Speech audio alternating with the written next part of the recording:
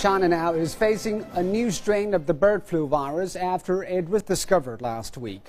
So far, the new strain has claimed the lives of two people.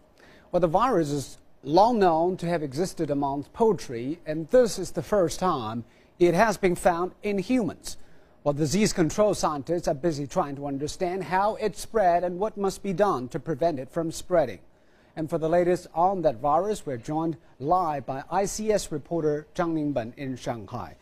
Well, Ningben, we understand that this is the first time this particular strain has been found in human bodies. So, what can you tell us about this particular strain of virus and how did the patient get infected? Hi, Zhou Yue. Uh, the Chinese Center for Disease Control and Prevention says it isn't clear how the two people who died in Shanghai were infected and that one of the victims had no contact with animals before his infection.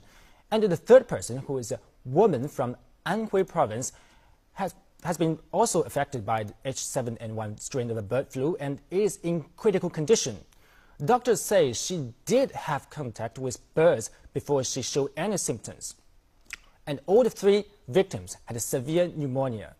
So Meanwhile, in Shanghai, hospitals are monitoring flu and pneumonia patients more closely after the word that weekend that two Shanghai men died recently of H7N9 bird flu, something that humans don't normally get. So let's recap the situation.